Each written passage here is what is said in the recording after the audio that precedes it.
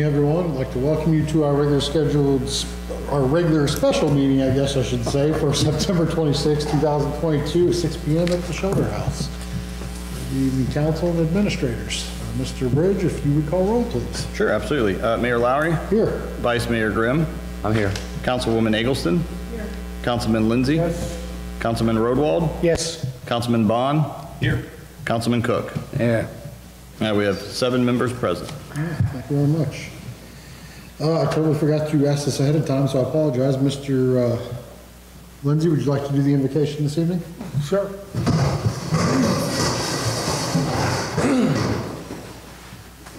Heavenly Father, thank you for this meeting. Thank you, Lord, for letting us come together and do the city's business, Father. We ask you to, to keep your hands on the uh, military, firefighters, police officers. Keep your hand on the Heritage Flight Festival this weekend, Lord. Let nobody get hurt, no problems with that. In Jesus' name we pray. Amen. Pledge allegiance to the flag of the United States of America and to the republic for which it stands, one nation, under God, indivisible, with liberty and justice for all. Move to adjourn. Motion to adjourn. All right, uh, city manager report none, comments from members of the public. Thank you. Committee reports none, resolutions none, ordinance none, of business discussions on the following topics. Charter, we'll start off with a charter review, um, charter review, uh, that has been put together by our committee, committee over this past year, over this year, so. Um, Does anybody have anything they need to go over, uh, start off with? The only, Mr. Mayor, Sir? the only thing I saw was the removal process. I still believe it's in violation of, of, uh, the uh, state law or state, uh, law, constitution, and legal uh, precedents. What section, what number are you under? I was gonna say, I was looking for it, it's, uh, Removal of a council member? yeah. Uh, for section four point oh eight, I think is where it's at. Mm-hmm. I had, I had the other one up and I had it highlighted and I just opened up the new one, so. I think it's 4.08C. Who is it? 4.08C, procedure for forfeiture of Oh, yeah, I office, see. maybe? Right. So what do you, uh, what are you saying, needs to be changed? I or- think it needs to be taken out because council does not have the ability to remove an elected official, uh, except for a felony, and then I think the Secretary of State would be doing that, you know? And, uh, the, uh, there was another section I was looking at too in this area, see if I can find it real quick. And what I'm doing while he's looking is I'm just taking notes, um, as what council members saying what, and then what we can do is maybe have Jake suggest, uh, Yeah. some legal act, legal language that would be compliant with today's standards. Right. Uh, There was also, uh, I don't see it offhand. Yeah. I should have left the other one open. Something about, uh, uh, I don't remember, it might be in that section, but I don't see it. What it have to do with, do you remember? Uh, Maybe we can help you out. Miss something, I can't think of the word offhand. Uh, Unexcused, unexcused No, no, absence. no, not that, No. Okay. no. Because it it leaves the uh, definition of, oh, let me find it here. Was it council, um, city manager, other members? No, it was in the coun- council, I think. Uh, Well, it might be up here under the removal process. Uh,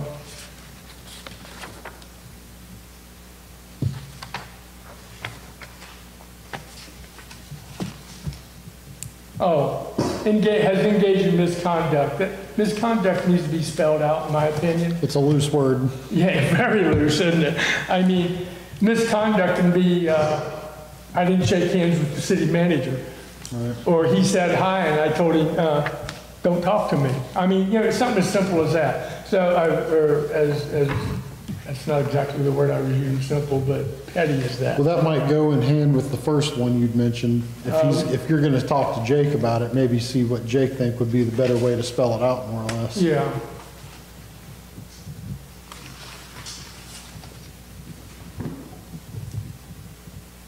I mean, does, does any of that make sense to the rest of council or not? No, I would agree. I had said something to uh, the committee.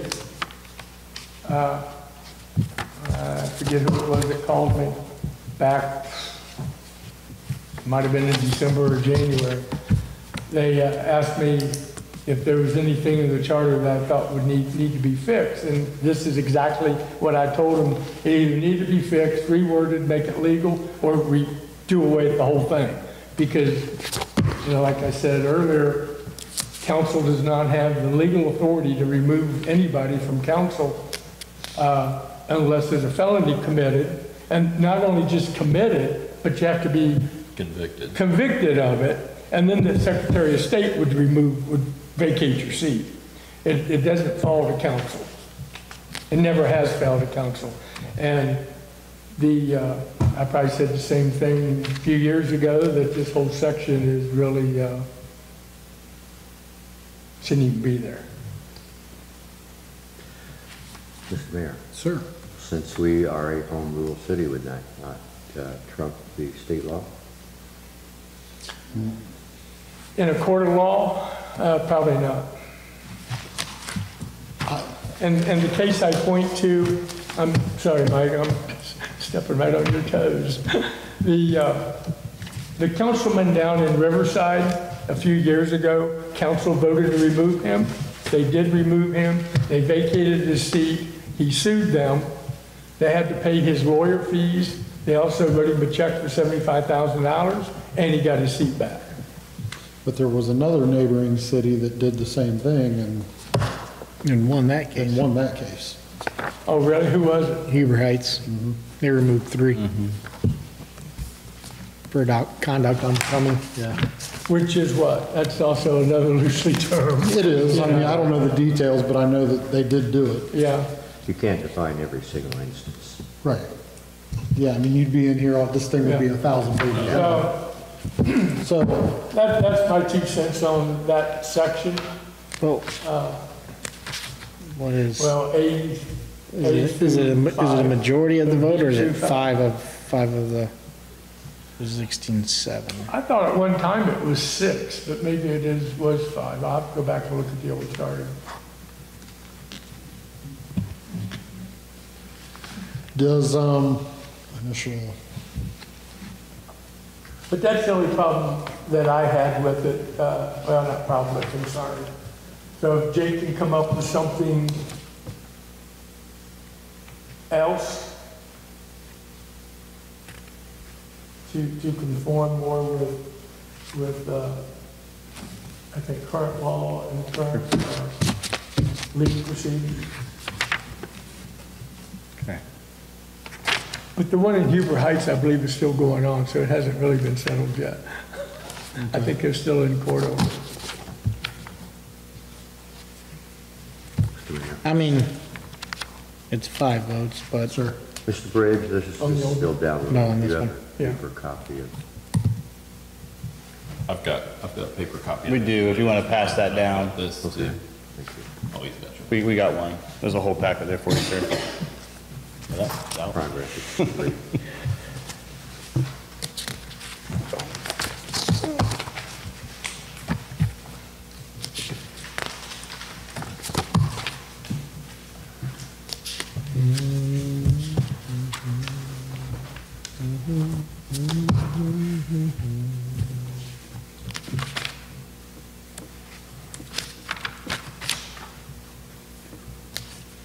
Is great. Mr. Bridge, was there something in here, I was thinking there was something in here that you, I can't remember what it was now. Was there something in here that you had?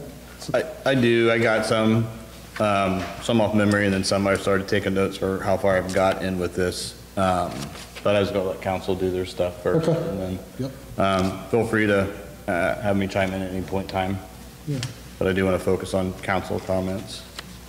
I was looking for something that, um, I don't ever remember seeing it here, but What is it? I can maybe help you out.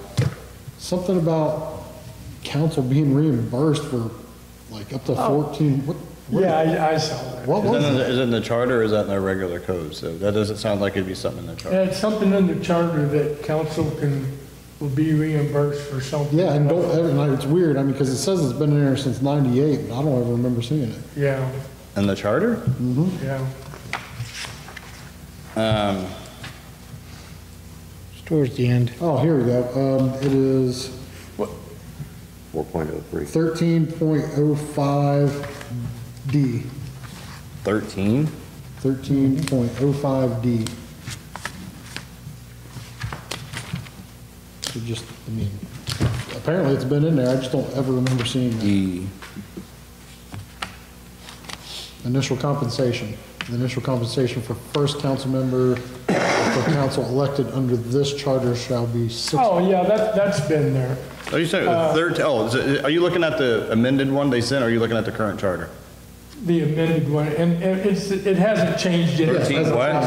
That, that's our compensation, and this one here specifically prefer, refers to the mayor. He gets six hundred dollars a month, which is two hundred dollars more a month than everybody else. Oh, gotcha. Uh, I was always under the, the uh, thought that if the mayor gets two hundred dollars more, then the vice mayor should get at least half of that more No, but I just don't understand. than, than everybody else. Yeah, but it says the initial compensation for the first council elected under this charter shall be six hundred dollars per year. Right. Oh, per year? Yeah. Oh, yeah, that needs to be fixed. So it's like a sign-on bonus. Yeah, I mean, that's, that's the way I In other words, you want your six hundred bucks. No, No, this is fourteen hundred. No, we get four. A year. Yours is fourteen. I mean, It also says, Four hundred a month, this says six hundred a year. Well, it says it's initial. It's initial, this is, yeah, compensation this for is the what they first added, council elected, years and years and years ago. yeah, very first, when they first established it. yeah, but this says, um, this has been done in nineteen ninety-eight. Yeah. Amended, you know, they may have, yeah, they may have for some reason amended it, but it had no impact on what goes on currently. Because you guys have, So we get six hundred bucks a month? no, So you. it doesn't even. At some yeah. point in time, there's ordinances out there that change the rate of pay for the Right. ordinances. That's why, I'm changing the pay for council, that's where you guys are at, where you're at. So at some point in time, since this inception of this council, that's probably what it was. It- it- I don't know, I can- I'm not gonna speak to that, because maybe in ninety-eight, they passed an ordinance changing the rate of pay, um, up, and then you would think that the rate of pay would be in there, but I don't, I don't know, but, No, because that's done by ordinance. Mm-hmm. All it says on, on, on pay, if I remember correctly, that if the pay changes, like we've changed the pay tonight and give all, give all It doesn't- themselves it doesn't go for- five hundred dollars more a month for each one of us. And Mike gets a thousand, it doesn't go into effect until Till- the next mayor or the next councilman. It doesn't affect any of us. Do you- After the next election. So this section here, the initial pay, in my opinion, that should probably just that's what I was gonna say, should be struck. Yeah, I don't see any reason for it to be in there. Four, four point oh three. It says go to 403. Oh, hold on. And then it, then it changes to compensation. Council may determine the annual salary. So that was the initial, and that's now it's a been placeholder. redetermined over. You're right. and- Okay, okay, So okay, initial compensation could probably just be removed. I mean, it's just taking up space pretty much. yeah. Well, what it does is it leads you to 4.03. That's the amended.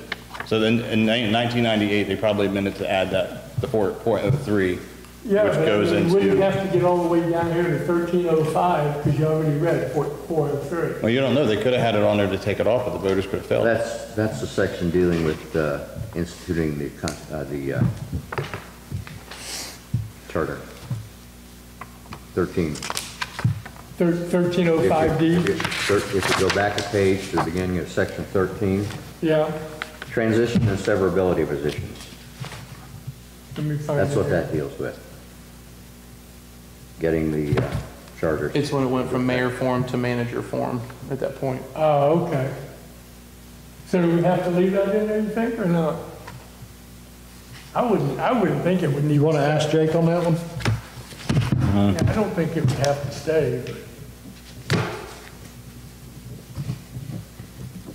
I mean, the original, like I said, the last council commission review could have suggested it being taken out and the voters could have said no, True, true, which is why it's still here. But we'll have Jake. And it did fail the last time, the charter failed the last time. It did, gotcha. Well- And they usually, yeah, a lot of them, Most of them fail because people don't understand it. They don't take the time to read it. okay, we got a note there. And they read this at six hundred dollars per year, so they thought that's all you was getting, that the mayor only got six hundred bucks a year. They could have read it like that. Mm-hmm. But then it says the- that the, the mayor shall receive an additional compensation of fourteen hundred dollars a year. Mm-hmm. So I don't know what people would have thought. Yep. Another thing too is we don't, it's just my suggestion, like this is a big document, so we don't have to have it all wrapped up tonight. I think we could get a big chunk of it, but mm-hmm. there may be sections that we want to review and, you know, and then come back to it, so just put that out there.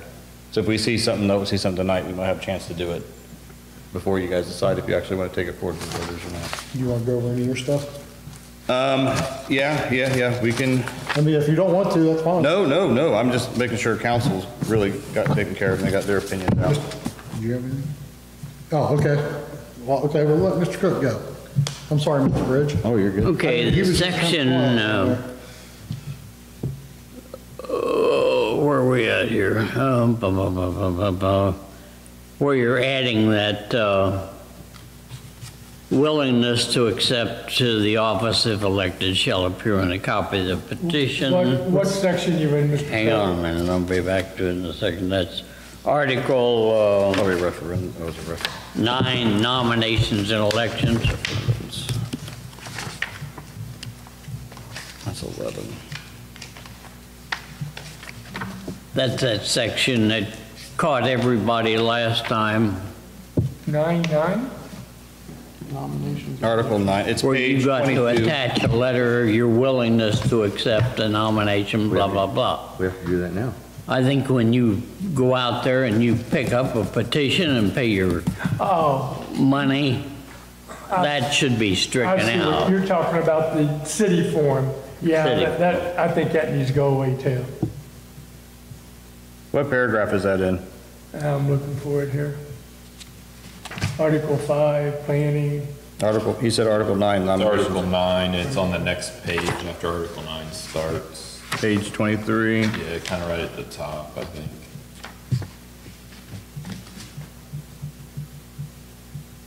So what do you want to remove? Group petitions. Group petitions. says group petition shall not be. Each candidate shall file a separate petition, group petition shall not be used. So that's this, They're talking about the city acceptance form is what he's talking about. okay, so you want to try to remove the, it's 22 and 23, Mr. Lindsay. It's at the bottom of 22, top of 23. Okay, so this one, we want to, I'm gonna get Jake involved in this one, just in case it's something in state law. Okay, so Jake, so we want an opinion on The if, acceptance of nomination and willing to accept office form that has to be done per our charter. It's at the top of page 24, top of page 20, 23. or 23, I'm sorry. the, the first full paragraph, the signature of the candidate and statement indicating acceptance of the nominee willing. So Right. that one sentence, Yes. Mr. Cook? And it says that elect shall be appeared on each copy of the petition. That's what you're talking about, right, Right. sir? That, that needs to be gone, and because if, like Mr. Cook said, if you go out there and get your signatures, you sign your form and turn it into the Board of Elections, that should be enough evidence that you're willing to take the office, not have to do this other form that the city requires per the charter. signature of the candidate and statement indicating acceptance of the nominee. I don't know of any other city that requires this. No. If I'm not mistaken, nobody else in Clark County requires it. Okay, so that's page 23. Okay. Good, got it. In fact, that whole section could probably be removed because as far as the elections go, you pull, you pull your uh, petition from the county board of elections and I mean, the 25, I guess that, that, that would stay, but, but the, the uh, signature of candidate statement indicating acceptance of nomination, that, that form should go away. I guess the rest of it would be, would be sufficient. Do you agree, Mr. Clerk? Right. Okay. Okay, what did you say else is coming out? Because I just got the signature of the candidate. No, the candidate. signature of the candidate, oh, So I got the, no, the, the, the first part, I, s- when I said the whole thing would go up, then I read it, just leave it there. so just that one Just the sentence. signature of the candidate and statement indicating acceptance of the nomination and willingness to accept the office if elected shall appear on each copy of the petition. That whole sentence Sentence should be gone. deleted. So the last one you want to stay in the petition, maybe in Petition may number, be in a number of parts, but each shall, uh, part shall be verified by oath by the circulator. Yes, that, well, that's part of the, State that's of part of the uh, petition that Okay. you get, so that can stay in there too. got it, just that one sentence. That way it conforms with the election law. Okay, got it. Anything else, Mr. But Clerk? basically, that one sentence should go, I agree Mm-hmm. with that. Mr. Bond, anything you need to go over? Um, I just had two things. One, this is minor, but there's a couple places where the old, uh, website shows up, the dot net. I already got that noted. You already got that, okay. Yep. Um, and then the other, I didn't know, this thing they sent us, it was the attachment at the end. Is that part of it that goes when it, this, uh, context for social equality and local I'm, yeah, I haven't looked at that yet, but I'm assuming that's what they want. and all of that? I, I didn't know if that was something that was gonna be attached to that or what that was, was my question. I didn't like that either. So I, I don't think that, yeah. I just, That's I mean, good, it's but- current trends of what people are moving for, so I haven't read it yet. I just, anytime you got social equality is, I mean, it's usually a good thing. That's debatable. All right. You good? Do you need water or anything? You good? Okay. Yeah, I haven't, I honestly, I haven't even got that far in it yet, to be honest with you. I just realized there was a social, I just realized there was an attachment when I forwarded it out. So that was- that was all I had. I think everybody else kind of hit the other things that I. Dan? Anything? No. The only thing I Nothing that's worth and it's arguing about. was in the preamble. And That first line. I have, I can, I have no problem with being grateful to God for the blessings of liberty. I think we need to remove the almighty.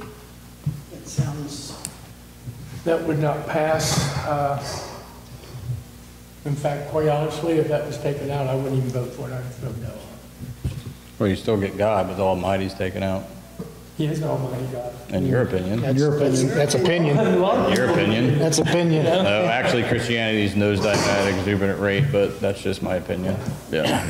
I mean, I think it's, I think leaving God in there, it's there because many people have a lot of different gods. God in there, but I, And what was changed in here, because it says amended March 2022, I don't know. and all those amended dates would have. Amended March 2022, that's not accurate. There's no way we That would, amended that would anything have in to March all be, uh, all 2022. those uh, amended March 22 dates would have to be fixed as being. They may have, it- what is it compared, I printed out the actual current charter, let me see. Did they switch a word in there that they would put that, because amended in March 2022, it was, When they did it. yeah, when they did it, but then would be the date of the vote, I'm assuming. Well, this is preamble, what am I doing? Be brave, Almighty God, blessing the liberty with the people. of this time. Now, they removed the, the word municipality. So it says, "We the people of the city of New Carlisle," It says, "We the people of the municipality." It says municipality in the original, so they took out municipality and changed it to new city. That's the first thing you see. Yeah. And, uh, yeah, it's different, because on the new one, it says, "Under the constitutional laws," whereas on the preamble here, it says, "In order to execute, secure, and exercise." So there is some difference on that preamble. I wonder what the norm is. Well, anything that's on, uh, anything that they have suggesting, they're getting from the um, recommended charter. Right. That they put out, that all cities Yep. should follow. So it's not like they're coming like up us on their own. All these are just yeah. recommendations based off the current Well, the one time Environment. Don came and talked about it, he, he mentioned that. Don who? Hall. Don Hall. Didn't you say Don King? No, I did not. I swear I said Don King. Kane. Oh, Don King, okay. Oh, Don King, that's right. Did you thought I said Don King? I didn't even hear it. I just heard Don. That was a good catch by He, Peggy. he had mentioned Kane. that, uh, Yeah, the document you just talked about. yeah. I think he gave us all a copy of Mhm. It's at home in my pile. Yeah, for sure. Um, Well, Peggy, if, uh, I mean, what do you guys feel on? that Yes. one? I know what Mr. Lindsay thinks. I don't mind it either way. I mean, I've got my own versions and beliefs and what God, who, what, when, where, and why. It's- Either way, it doesn't bother me. She didn't say remove God. She thought about removing the Almighty. I think Almighty God should be left in there myself. I, no, I think, the I mean, I, I personally think the whole thing should be removed, but Almighty would be suffice. Mr. Cook? I have no problem either way. Yeah. So, one, two, I think um, as the city continues and tries to grow, you're going to start to bring in more people who have different beliefs, and having something like that in the beginning of your charter is going to attempt to eliminate or discriminate against others. those willing to step forth and be part of this growing city. Um, I have nothing against people who have those beliefs, but I also don't think that uh, we should be limited to those who have only that belief. Yeah, I mean, because there's obviously, there's multiple beliefs out there. Can I make a suggestion? I don't want to overstep my boundaries. And, and all of their, uh, all the different religions and beliefs, I'm sure if you asked any of them, they, they believe it is their God, and they also believe that their God is Almighty God, in their religion or in their beliefs. What about So- those who don't have a religion or a belief? Well, then it doesn't even apply to them. But it says, "We the people." So Yeah. when you read it, it says, "Be grateful to the Almighty God for the blessings of liberty." We the people of the city of New Carlisle. Yeah, you're Yeah. speaking for Under every, You're constitutional speaking- laws of the state of Ohio. Yeah. You finish the sentence, not but, just part but it. what it's Well, doing that's, is, the second part, the, the second part has nothing to do with. But if they had, that we the the people of the city of New Carlisle being grateful to Almighty God, you'd have a point, I'd have a problem with it. This is what I'm But that suggesting. isn't what it says. Again, I, I, this is, uh, you're reading into it, and what I'm suggesting is, since it says "we the people," such a hot button topic, let your voters decide. Yeah, they'll to vote for it or they won't. Yeah, for sure. And More than likely, it'll be voted down because people Oh, it'll- will take time to read it. it'll- Mm-hmm. And it won't be just because of that word. It'll be because they don't understand it. hey, let me, let me catch Mr. Grimm up. So Ms. Eggleston brought up, go get him, Randy.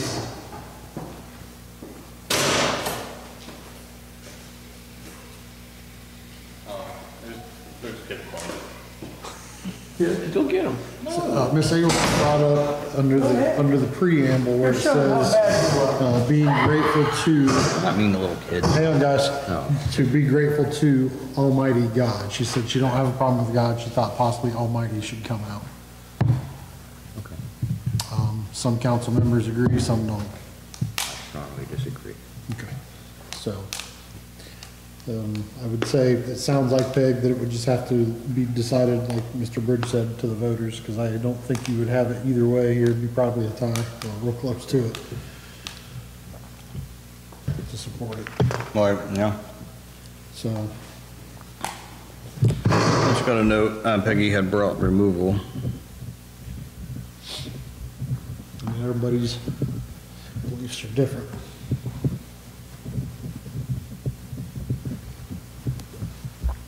Okay. All So- right, so anything else, Ms. Eggleston? I- Mr., oh, I'm sorry, go ahead, Mr. Cook. Section 102, boundaries. It says, "Shall have the power and authority to change its boundaries and to annex." Then further down, it states that no territory shall be dis- detached from the city without the consent of the majority of the electors. To me, that's, I guess, a little wishy-washy. No, what that means is, If we, we talked about this in one of the meetings about, go ahead, you're gonna say, but like, that says like, all right, so we have the city currently, and let's just say we wanted to get rid of the cemetery land. We wanted to de-annex that, detach it. That would have to be voted on. So it's opposite of annexing. Like, if you want to detach, your citizens has to vote on that detachment.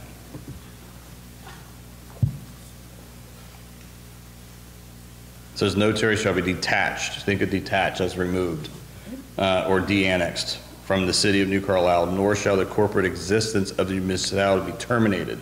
So let's just say if you guys wanted, uh, you wanted to forego your city status and be part of Bethel Township again, that would have to be voted on by your thing.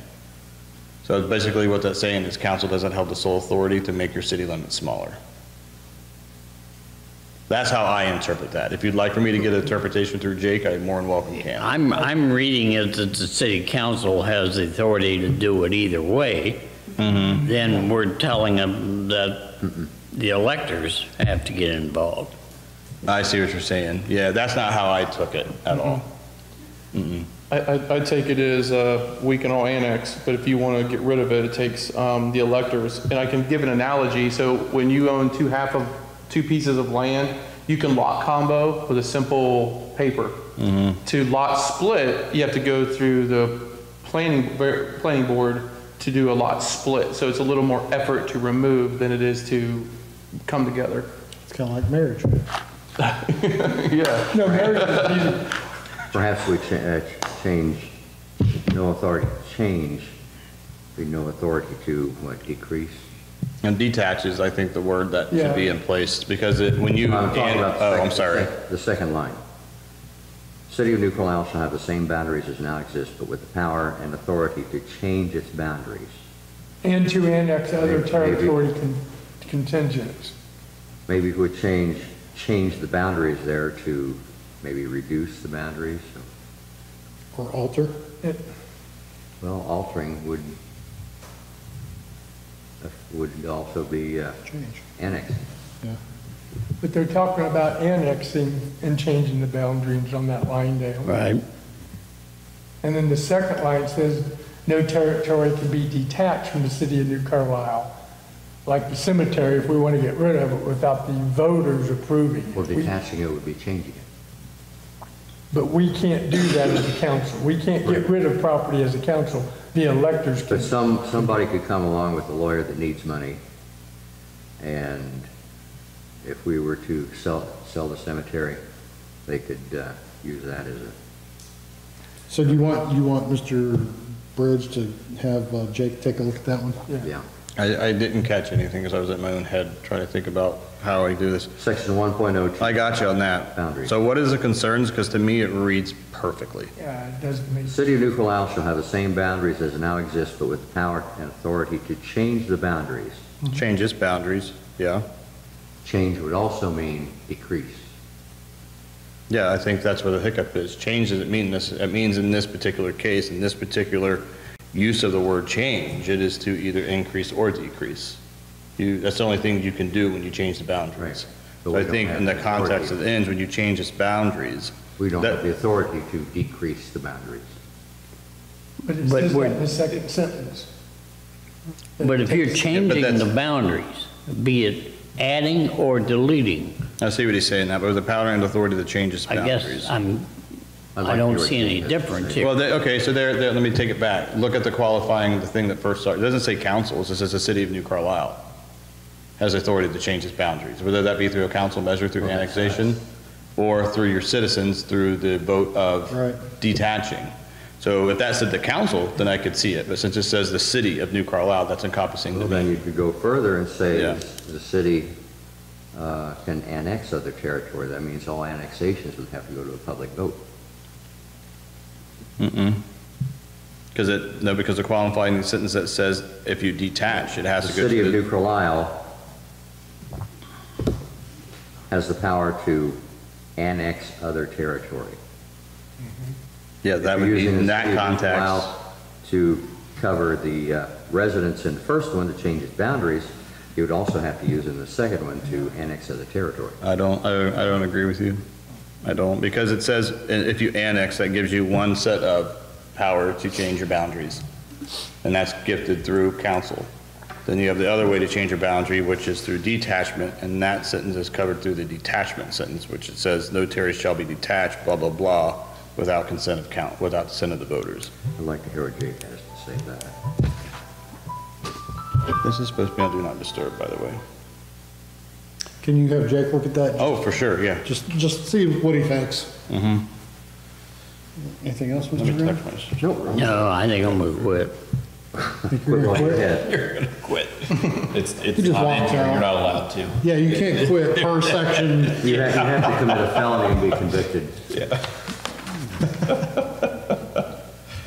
What? It says 6:30. Oh, Yeah, but we have the updated version, it says six.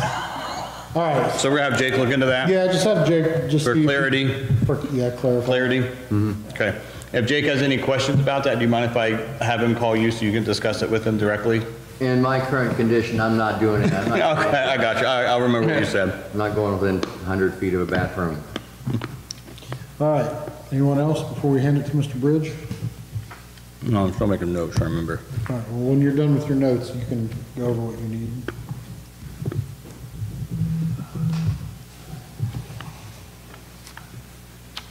You remember all that, so when I ask you, you remember what, we what's going on. Okay.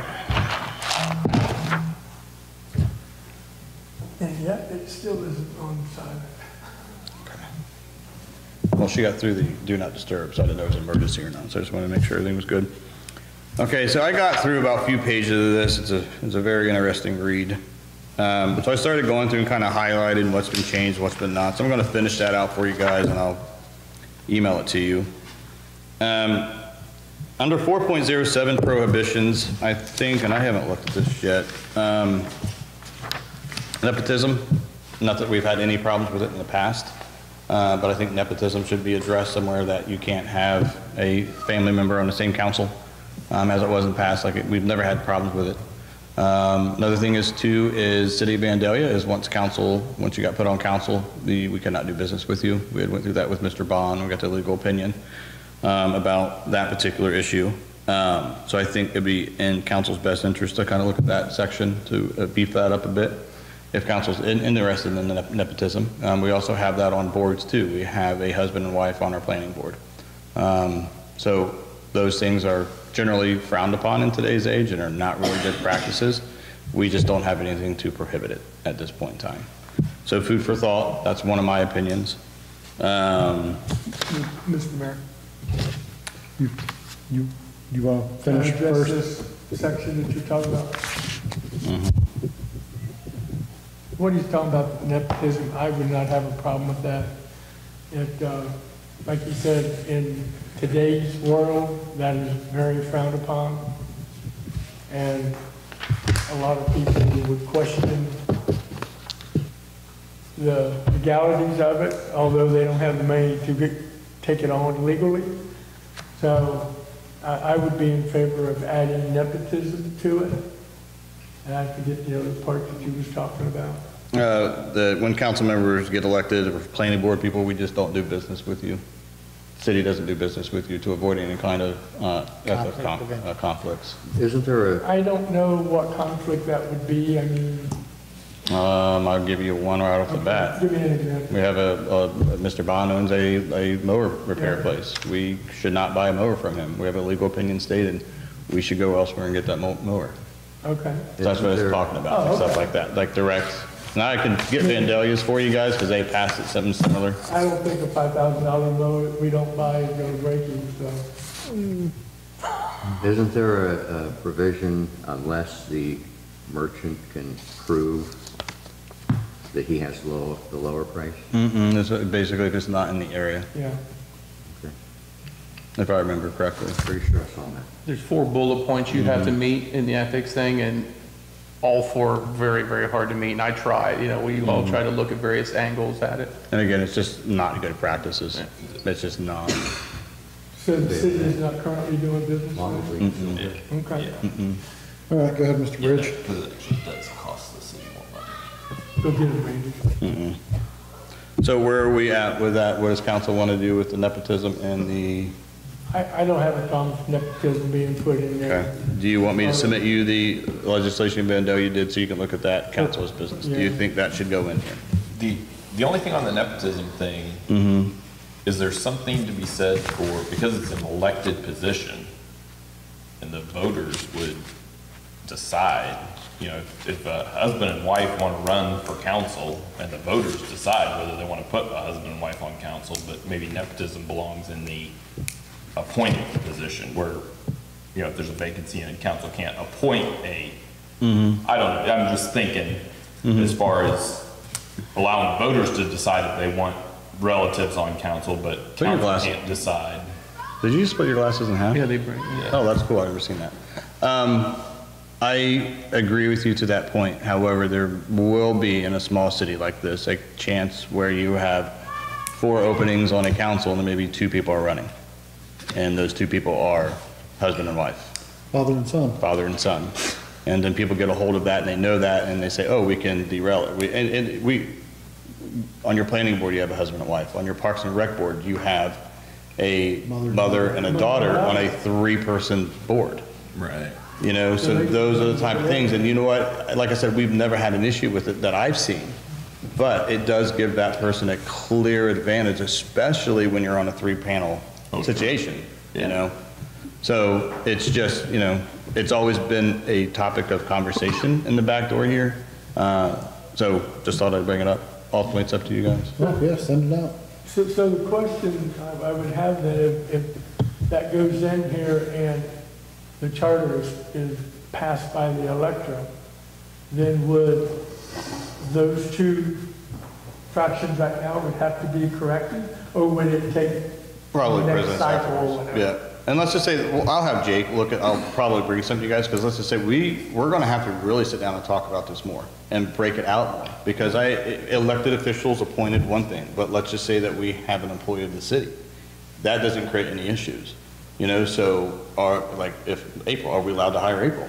Or let's just say someone else's significant other, a child wants to work for the city, you know, how does that come into play? So I think there should be carve-outs for that nepotism, but I also think it should be addressed in certain functions of the city.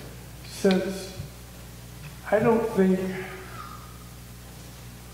my personal opinion is with April, there is no nepotism because she, he is not her direct supervisor. You are whoever it is, however it is. I don't have hierarchy.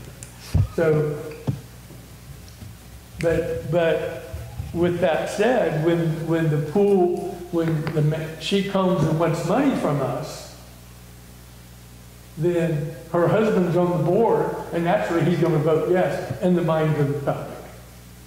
So to avoid, to avoid any, uh, I guess backlash, for lack of a better wo- word, mm-hmm. when it comes to the pool, and we're voting on things for the pool, maybe her husband would abstain from it and not have a vote. Yes, I mean, he has that option now. He, he does, and he, would- he would be required to abstain, let's just see, he can vote on the general pool overall Right. budget. Let's just say though that Mrs. Lowry wanted a raise, and that had to go through you guys. Was it- He, but- he could not, he would be in his best interest and best interest of the city to abstain from that. But the, but the Yeah. overall sim- uh, pool budget, where you're Yeah. talking about repairs and maintenance, all that, he can build on that all day long. Well, and he has been, I ain't Yeah, had a for sure. problem with it. So, Yeah. Mm-hmm. I mean, because, but you're right, if she wanted a raise, actually, it would be up to you or him, whoever she answers to. You know, and ultimately you, I think. Sure. If she got a raise, but then we would have to approve the raise because you would bring it to us or whatever, you know what I'm saying? Yeah, so. I mean, she think- wouldn't come in here and say, council, I want a raise and y'all need to give me one. No, she would. Because if she did, there'd be seven people up there laughing at her. Well, maybe not Mike. Yeah. So I just wanted to bring it up for discussion, and what we can do is, like I said, we'll probably have another work session before it gets final, and I'll start looking at maybe how other cities have this set up, that we can maybe use for examples. Okay. Uh, let Mr. me Christie, note you have that. something? I believe in previous charter reviews, this issue has came up, and I believe previous law directors told us to stay away from it due to the fact that we would be infringing upon an individual's rights. To run. And consequently, it could open the city up for some legalities. Yeah, well, Jake, look at it because a lot of people have this in their in their rules and regulations about nepotism. I, I, I think we're so, on very hollowed ground. Well, again, let's have Jake look at it because it's definitely in other places. I've seen it. Yeah. I've seen it before. Yeah, for sure. Yeah. All right. So what else, yeah. Mr. Bridge? Um, do do do do do boop boop boop boop. Mm-hmm. Mm-hmm. Mm-hmm. 4.12 procedures, and it says rules of council. It's page six, by the way. It says special meetings may be held on the call of the mayor or four or more members and whenever practicable, no less 12 hours. Isn't in the rules of council somewhere that the city manager also has the authority to call special meetings? I thought we put that in there. here yeah, it is. Okay. So in this particular case, the charter would prevail. So that would have to be removed out of, is it out of the rules of council or the city manager has to be named in the charter if it conflicts. And I got notice to check that. Where you at? 4.12, page six, last par, last thing on the page. Rules of Well- council should be Oh, highlighted. okay. Now, the, the, the way I read this and what you said, if you wanted a special council meeting for whatever, you would contact the mayor, whoever the mayor is currently, mm-hmm. Mike, and tell him why you want it. Well, I don't care about that, I just need to make sure it's not conflicting with the rules of council. That's Right. it. But yeah, you can call a meeting, mm-hmm. according to the rules of council, but not the charter. right, so just change it, either way. I mean, we either leave it and take it, out. well, Honestly, I mean, if it's, if it's conflicting, I think it should be out. I don't think the city manager should be able to call special meetings of council. Okay. Then, I think emer, I think we put in for emergency meetings. Maybe in the rules of council. Now I'm thinking about this out loud, maybe it was emergency meetings that but we still, put. emergency meetings, you can call the mayor. It only and say, says we need have to have one meeting a month. meeting, is why, and you Yeah, call sure. it and So, Okay. isn't that great? let's, I let's mean, get does that that down. make sense? Yeah, it sure does. So meeting a then, month. so then, maybe at the next council meeting, more notes for you. No, it's fine. Like I said, I got, I go, Have I'll, that brought up, we'll change the rules of council. I'll, yeah, I'll look at the rules we of all council. Maybe what's- under, um, This is emergency done. meetings. It'll go back to, yeah. Um, under four point one three, action requiring an ordinance, page seven. Um, in my cross-reference, I noticed that they left H one and two out, which I think probably need to be put back in, and that is, They left what out? uh, H one and H two. Char. Um, H1 is, and so it's H first off, under action required ordinance says levy taxes and/or assessments authorized by voter action, constitution or Ohio law, subject to the following. And subject to the following has been left out of what they recommended change. And what they say is, one, the municipal income tax rate shall be one half percent and shall not be increased without majority of those voting at an election approving such increase. So that should go back in, because your voters have to approve your Yeah. income tax increases.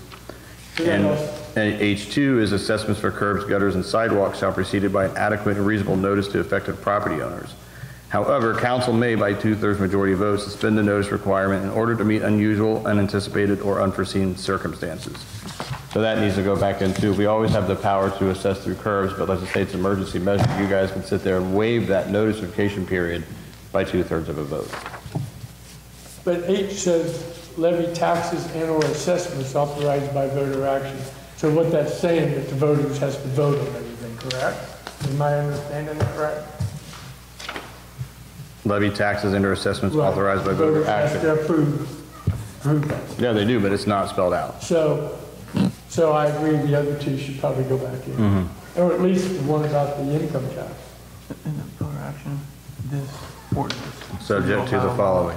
Yeah, so the These Ohio law these. covers your curbs uh, if you are at sea level, and that, yeah, Yeah, that but- should be back in there, yeah. Yeah, but you don't know if this, I haven't, what's the Constitution may not say that council may be two-thirds of votes suspended. It may just say you, yeah, you- it may just say you, you can assess for curbs and I agree gutters. with you. Yeah, so that's where I'm at.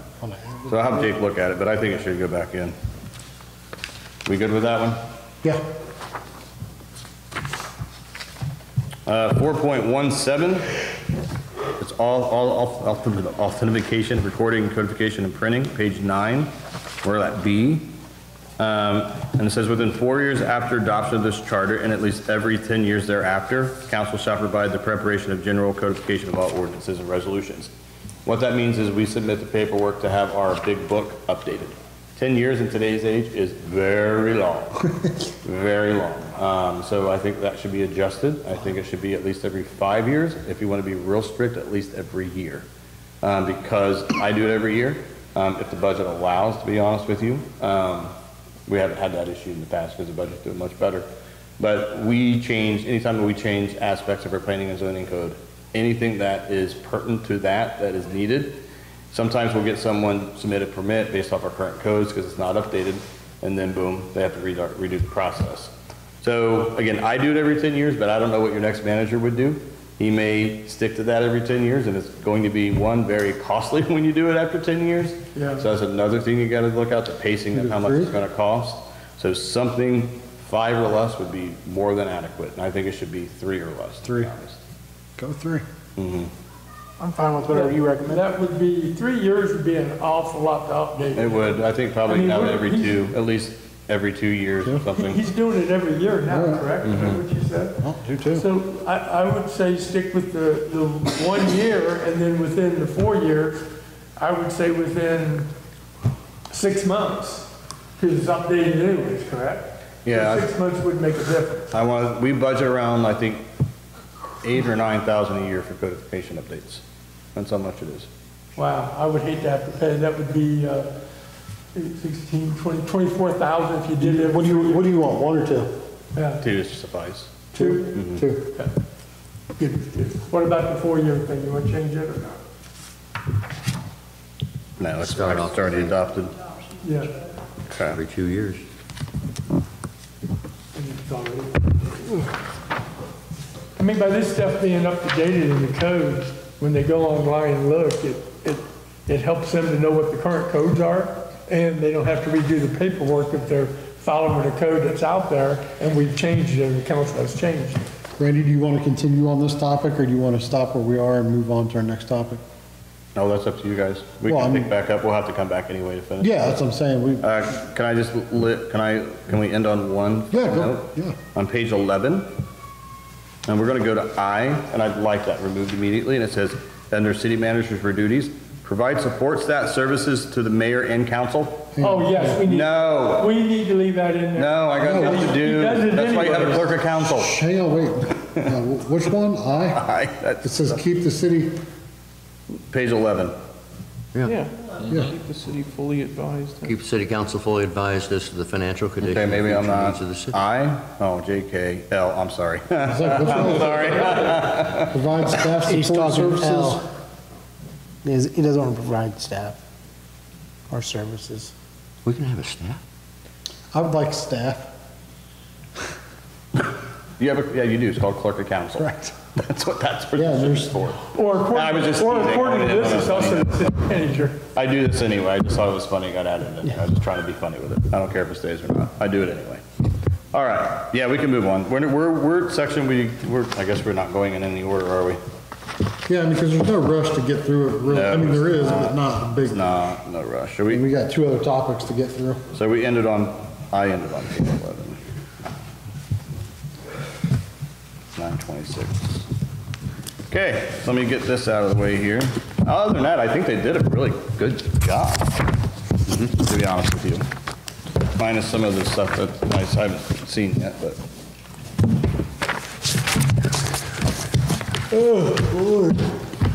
Okay, so uh, retreat, this will be really quickly. I just, I need some more guidance from you guys as far as, I know we had discussed it a month ago, not a month ago, quite a few months ago.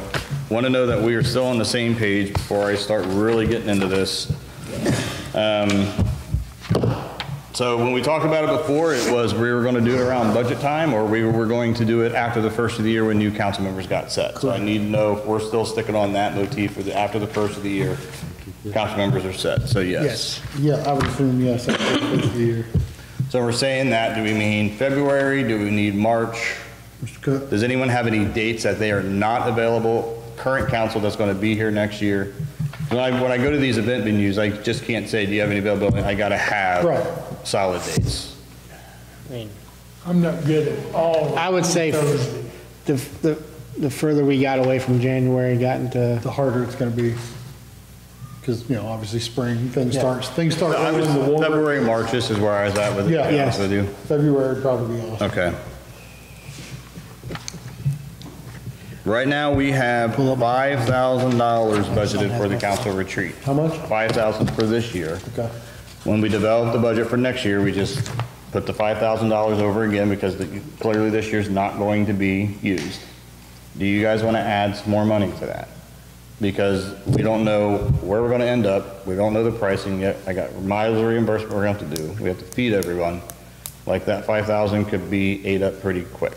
How long are you planning on this retreat being? I don't know. That's, that's, this is not my retreat. This is you guys to get and say this is what It's you gonna want be a do. week or just a weekend? Usually, no, usually around two or three days.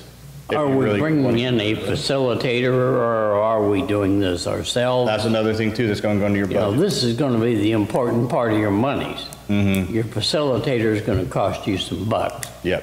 Then if you go off to another site and you're going to spend the whole day, you're going to eat, you're going to, your money's going to go up. If we were to have it here with a facilitator, half-day sessions, you, you've got many options. I'd say bump it up five or 10 just to cover your bases. Put it at 15. But I, I think you're going to need a facilitator in order to keep this thing rolling. Yep. And keep you on track. And another good thing with the facilitator is I would like to get someone in here that knows our form of government that can really, because like I said, I could be doing things wrong. I mean, just to get that guy who has 30 years' experience in there to say, this is the best practices, this is how you need to do it. Um, That is probably going to be the bulk of your money, to get a consultant in here. Now, is it one day? It needs to be more than one, because I think Two. if you really break it down, maybe that consultant, the consultant I think should be day one. That's going to lay our groundwork down, understand our form of government better. Then in kind of my head, I had it like, okay, um, we should also bring in your administrators, me, Howie, and Colleen. You guys, we need to sit down, make sure that we're operating the way that you guys want us to operate. We have to look at our big policy plans. Our job is done by your codified ordinances. That's how we do our job, um, and our own vision and stuff like that too. But to give you a chance to talk with me and your, uh, higher ups, um, I think it'd be a good time too to get the new elected council members in here to understand your documents. There's a lot of things as elected officials up there that people just don't know or don't know exist, whether it be our comp plan, whether it be the charter itself, whether it be the rules of council, whether it be sunshine law training. You know, there's a lot of things that these new people who have zero experience doing this need to understand what the rules are. Um, But we'll have the same council then as we do now. well, great, then maybe you guys do it in '24. I I mean, that portion of it, and the next year you have it. I'm not saying it has to be every year that you get new council, that you don't have a council member. Clearly, you're not going to review that stuff. I haven't been in the 101 building, but is there s- a room there? or Not big enough. No. Historically speaking, gov- governments go away. Yes. Well, I know that, but we're pretty small Mm-hmm. and spend a lot of money on a, Well, and this, come on, man, it's our trip to I mean, Vegas. if we're going big. I'm already going to Vegas. I Like don't, Fairborn, need to Fair- go Fairborn went down to northern Kentucky. You know, I'm not saying we have to go to Columbus or anything.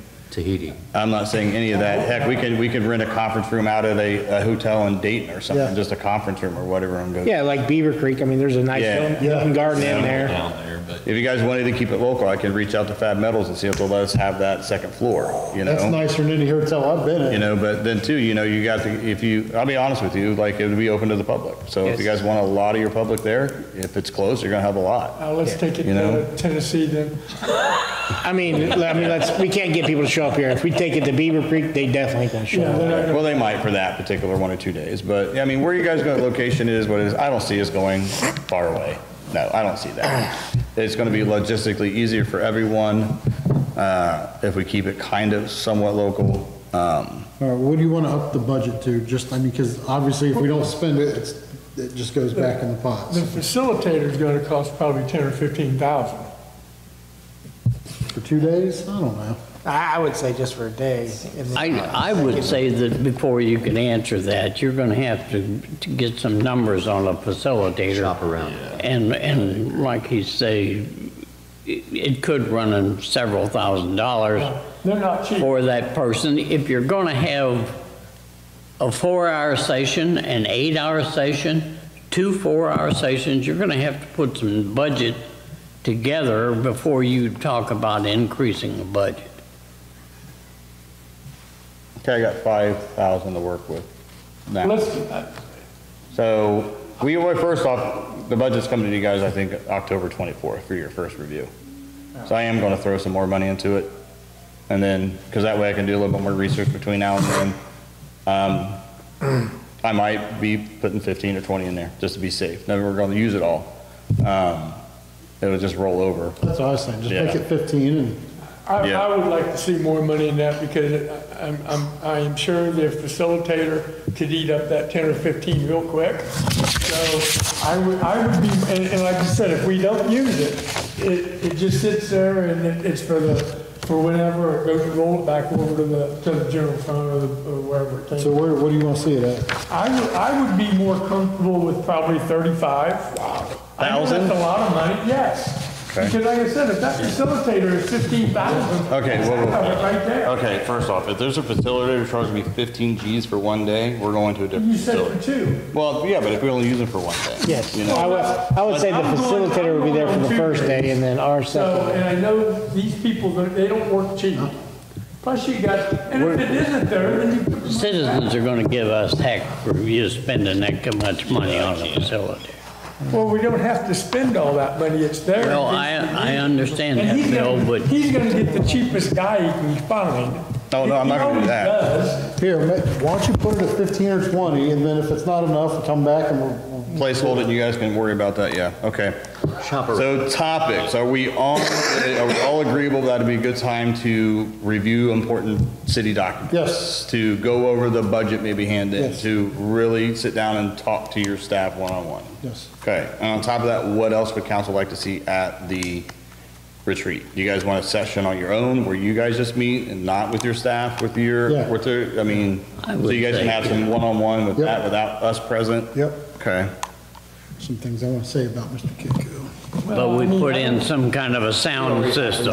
I, I, I don't think we. I say it all the time on Facebook, So. Uh, This is a good starting point, it is, and as, like I said, we'll be talking about this again. Uh, And I got location close by or way. How far do you guys want to go? Oh, I, I would, I mean, I would, like I a would 10 mile prefer to, radius, a 20 mile. I would radius? prefer to go just far enough where we don't have to stay.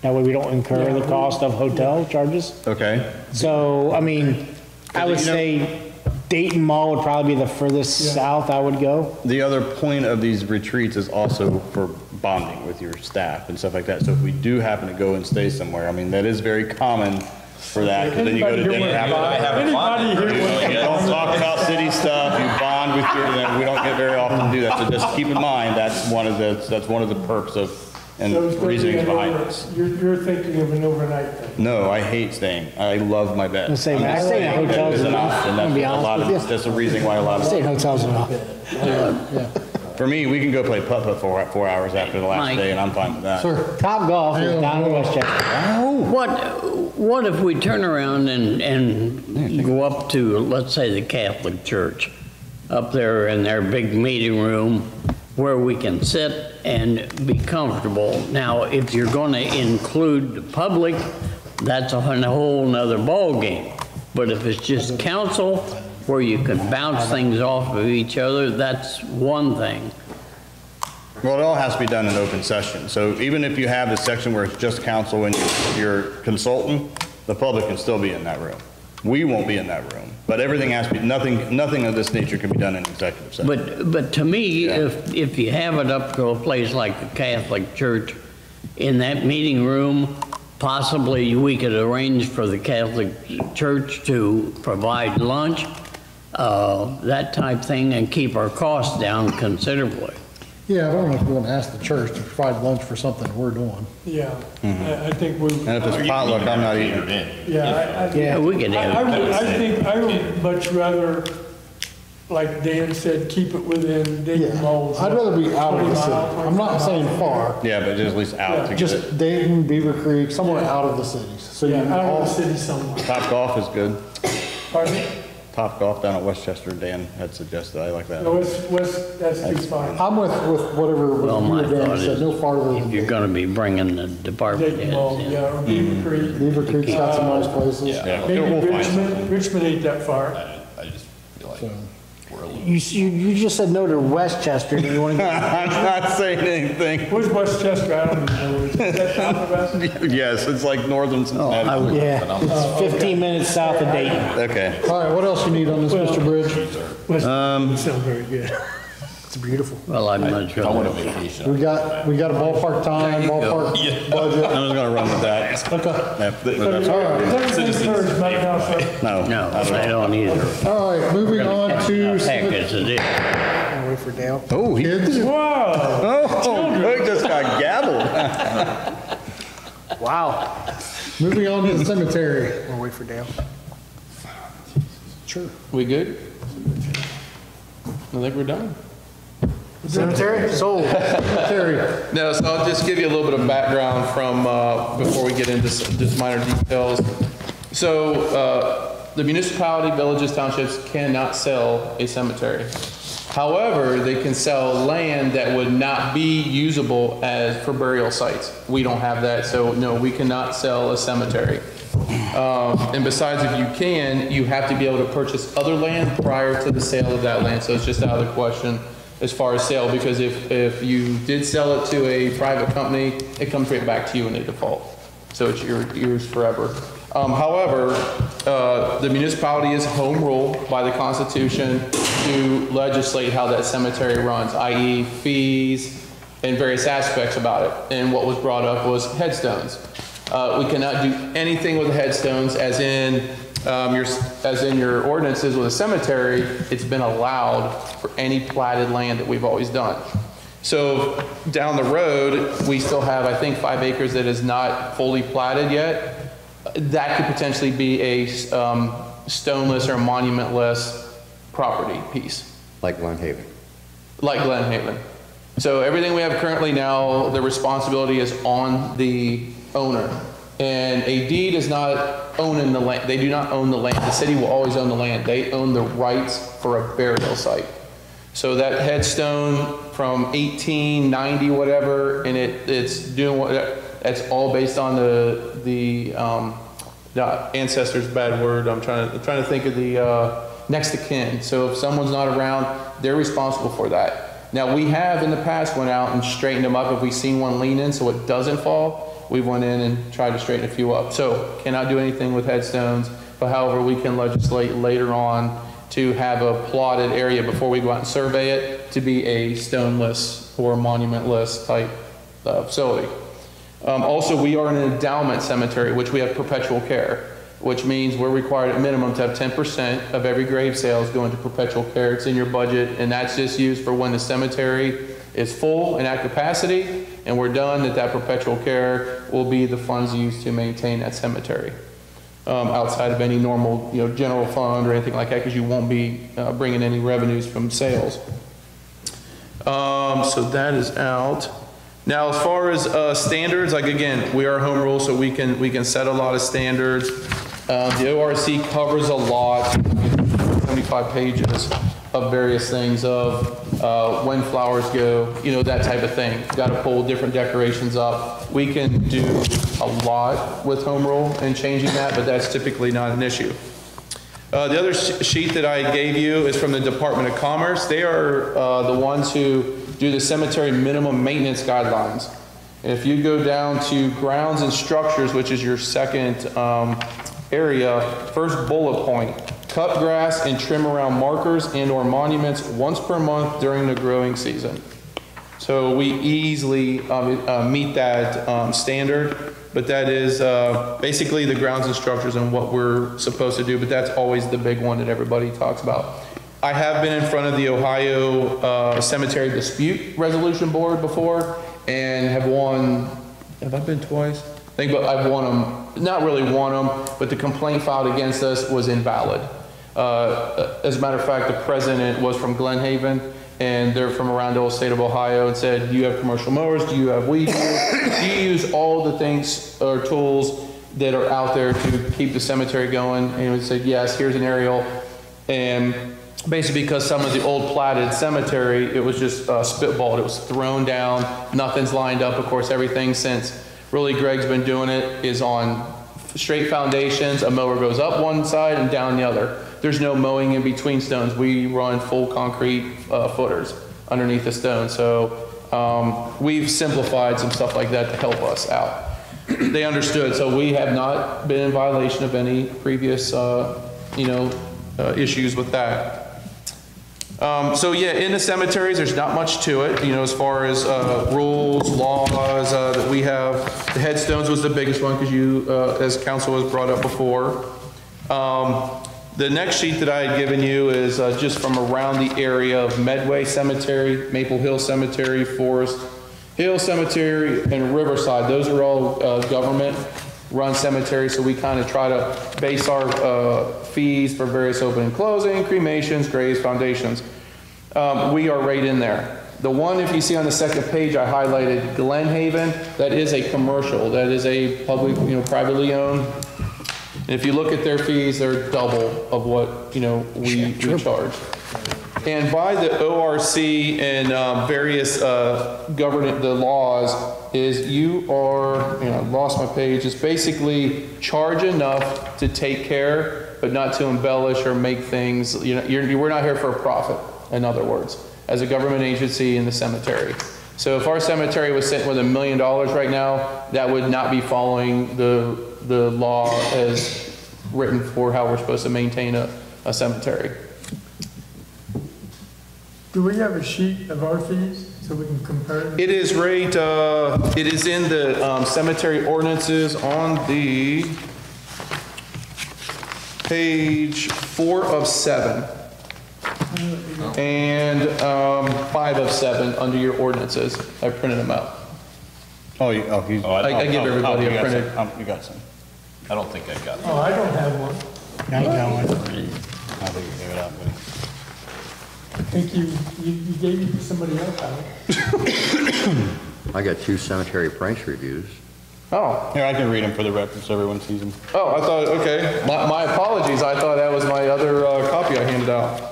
Nah, I've done it millions of times, they're good with it. All right, so, You want me to read the?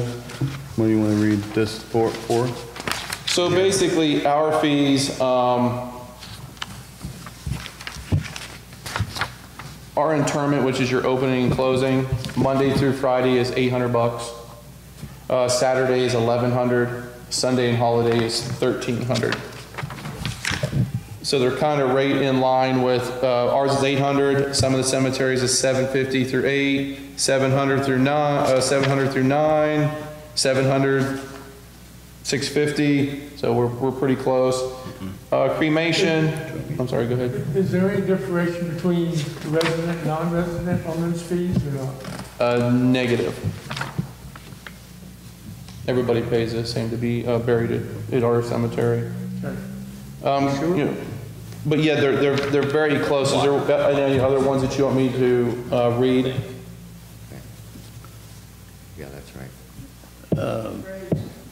I'm sorry? What do we charge for graves? So our graves are, re- oh, I'm sorry, you're right, on graves, so the opening and closing, the actual digging part, we don't charge a resident, non-resident, but however, your your grave, resident is 600, non-resident is 650. So in an infant grave is the same price, resident, non-resident, as $150. And that is in the infant section. And if it's an infant grave, regular section, it's $600 resident, 650 non-resident. So if you bury an infant in the infant-only area, it's the same price for both. And in foundations, we charge 70 cents per square inch, and lawn markers without cement is $175. And government markers are 150.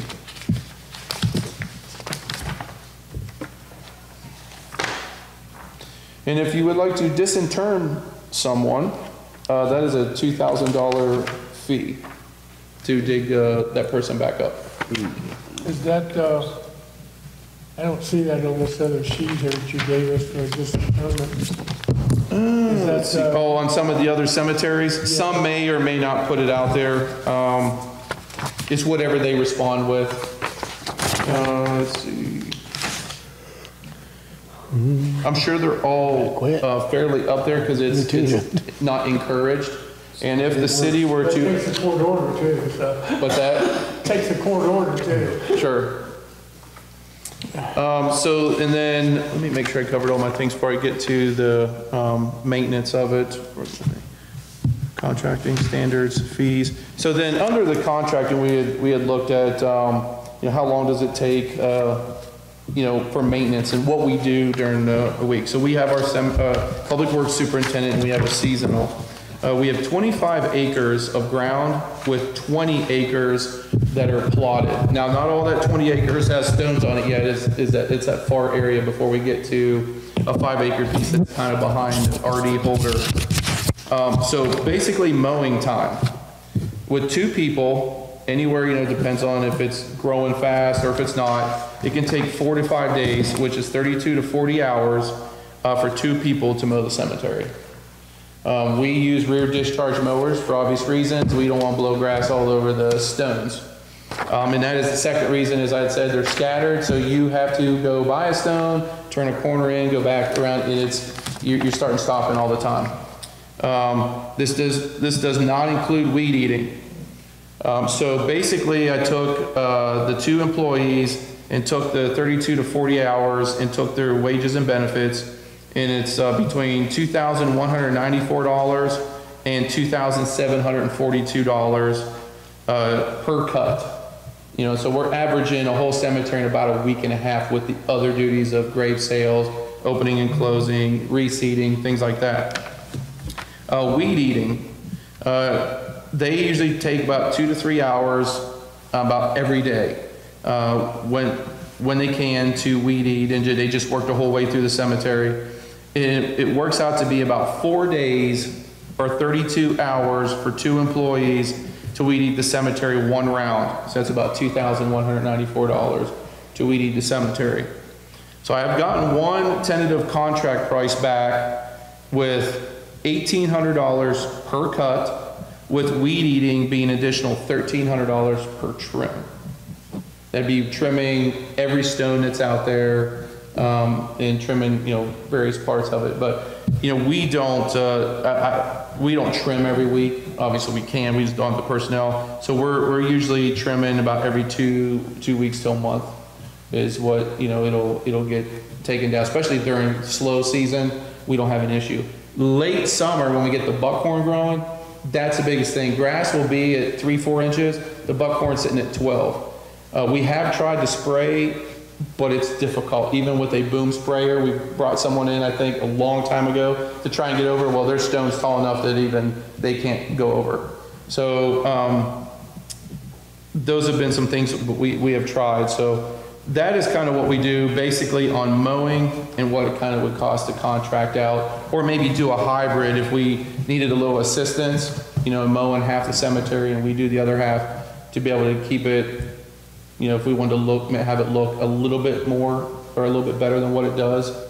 There's always that option. We can make it pristine. I think it looks good, but it's not, you know, we can't make it pristine at our level. The, the price you got from the contract, that's once a week mowing and weed eating? It, it's just per cut. So if the grass is slow, it could be every week and a half. If the grass is fast, that could be twice a week. Okay. And we cut it, what, once a month or once every, Uh, no, we, we cut it, uh, Oh, so they're when we start, like, constant. say, section A on Monday, we're about to section A back on Tuesday or Wednesday. So we're about nine days, about nine, ten days. So if you go off the low end of your estimate per weed eating and mowing, you're looking at around forty-four hundred dollars just in cost as far as personnel and wear and tear on machinery and fuel. maintenance. So, and then the cost to have them do it's just, you know, it's a tad under four thousand, so. But then that would free up But that the would free up, part-timer right. and to mow the rest So of you're it. saving, Yeah. it's a savings either way. Yeah, it, it, there's a little bit, our, what our problem is, and I was gonna bring up Woodland Cemetery, um, they had contracted out, uh, both mowing and weed eating. They have brought back mowing. And the big reason was, is damage to foundations, damage to stones, uh, blowing grass. Uh, the care taken by a contractor is usually not as good. And yeah, you could go out to them and say, hey, I need you to do it better, better, better. Next thing you know, they're just gonna walk away. Yeah. Um, so they did bring that back in. However, the weed eating is still done by the contractor. It's kind of hard to mess up weed whacking. Right. Um, so if anything, if anything So helps us, it's, it's weed whacking the cemetery and we still possibly maintain the mowing. So you, are you gonna try that, you gonna try that next spring? Yeah, we're definitely looking at something to see if some, if a change in your mind makes sense when it actually happens out on the grass. Yeah. When someone actually goes out and mows, because uh, the contractor's been out there, drove through the cemetery, but until you mow the cemetery, it, it's, it's a different story. Mm-hmm. I mean, it, it's like driving through a pinball machine. Yeah. So, so you're suggesting we do the weed eating and you? It's a- it's my- Keeps doing the mowing? It's my initial thought to take the weed eating off and start with that because that's not too harmful. And maybe, you know, next spring, it's just, it's just thoughts. I just started talking with Greg and, uh, you know, bringing this up with Randy to just get, you know, what is a, what is a good start to try and help out with that? I like it. Mike. Sir? Howie, you mentioned that we've got quite a few stones that are out of line. Have you got a number on the amount of stones that, Uh, the whole first section from the 1800s all the way through the 1950s or 60s, I think are almost all of them. okay? Next question. Have you noticed an increase in the cremations versus burial? I, I- I do not know that. That's something we can look up in our, um, sales. All right, the reason I'm asking, um, there is a company out of, well, Cincinnati has been putting up, and I will call them for want of a better term, the mausoleum type structure that is dedicated strictly to cremations. This looks like a building with shelves in there. Right. Put the box in there. It's saving considerably on the amount of ground that they're using for burials. Cremations, as far as I know, are pretty much catching up with burials, and it's about 50-50 right now. The ideal situation at that point, if we were to put such a structure in there, we would probably be able to, in- how do I say, increase our income, but save on our ground space. And I can look into that and find out how we as a home rule can I can, do a law to say, when, if you cremate and come to New Carlisle, you must go in the mausoleum. You know, that type of thing. If we can do that, and, you know, I'll look into. I can get you that company's name out of Cincinnati. I, I looked it up the other day. How much does it cost to build a mausoleum? How many, how many cremations can you fit in one? Let's just say it's a I'm sorry. five, six hundred thousand dollar build. I don't think it would cost that. Yeah, I don't know, because it's usually cement. I mean, you don't know, there's a lot that goes into it, it's very thick cement, You say so put three to five hundred cremation things up. I don't know. Yeah, I'm no because if cemetery tell you expert. about like this, by this. Right, but you gotta build the structure, and you're gonna have that much, you guys, there's gotta be thick. So I'm just, what I'm trying to get And at I is think it's sealed with glass or something. what's your cost to Somebody- build it versus how much you gotta charge to put the people in there for you to even make it back, because once it's full, it's not making any money. Mm-hmm. That's that's what I'm getting Right. at. So it's, it's gonna be financially beneficial for us to do that. He's got a good point, because I tell you this, when we were planning, rest your rest in peace, a year ago Wednesday, by the way, mom's death, the funeral director said most people just don't even do open casket funerals anymore. They're already cremated, you don't see the body, and that's the way that, and that's the trend people are going nowadays, just cremation and get it done with. So I think he's on the right path, but we have to look at our return on investment versus how much it's gonna cost to build that building versus how much we can actually put into it before it stops making us money. But on a, uh, That makes sense? to- I think to- this would be something that Trostel Chapman could Oh, probably sure. give you some of their numbers real quick. Oh, I could get with him, because do you want a granite mausoleum? You know, I don't, that's the only thing I've ever seen is gra, gr- Yeah. you know, I wanna see grand mausoleums. I've never seen a whole building as a mausoleum, so. Well, the old mausoleums were a mammoth place. Dad. Yeah. These newer things are probably yay high, Yeah. and they've got boxes all the way around. You're right, you're right. I remember seeing those. They're not like a full structure building, they're Right. just open walls per se. Yeah, you're right. In my head, I was thinking About building. that- About that, But Yep. uh, to me, it, it makes sense that we start investigating this to see what we can do in order to cut our Not a costs. week to get sick.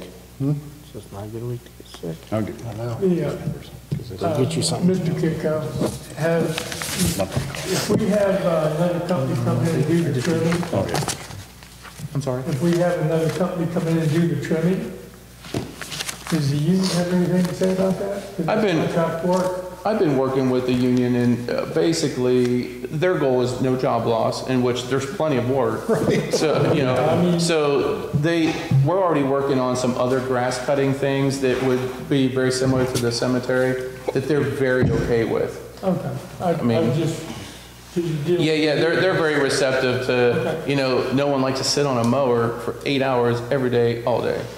I mean, it's, Depends on how good the season. it sounds, it sounds good, let me tell you, I mowed commercial for a little while. It's not, it's fun in the very beginning, but it gets kind of, Are we done? Are we wrapping this up? Yes. I got one quick question. Do you know how many graves we dig a year?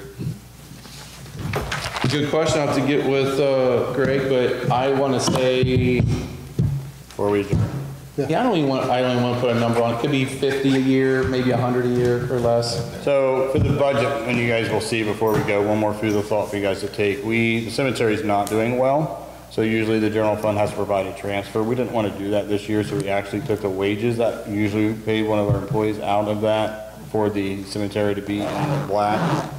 And this is a conservative number with how we do our budgeting, but right now, 2023, we are projected to have $8,561 in that fund, and that is with removing the wages out of it. So what we have to look at at the time is these cemetery rates you guys approve through council and every year that we have to raise them. Um, What can we do in addition to make that not, so one, depend on a transfer from the general fund, but two, just be that close with the fund balance. Now, we'll see what it closes out at. It's projected to close with 90 at this year, um, but we'll see how that comes out, because I'm with Mr. Cook. I think we're going to see a reduction based off cremata- crem- mm-hmm. cremations. Good job, My Howard. way. Fantastic job. And, and honestly, we've had a good year. Obviously, people have to die for the good years, and then you know we've had a bad year, but we've seen them both. Yeah. Mm-hmm. Anything else? Second. Oh, whoa, whoa, Motion by Ms. Eggleston, second by Motion and a Mr. second. You know, Call for the going way too fast for me. Motion by Eggleston, second by Mr. Lindsay to adjourn. How was a baby fly? No. Uh, Mayor Lowry, Yes. Vice Mayor Grimm, Yes. Councilman Roadwald, Yes. Councilman Bond, Yes. Councilman Cook, Yes. uh, Councilman Lindsay, Yeah. Councilwoman Eggleston. Yes. We are adjourned. Adjourned.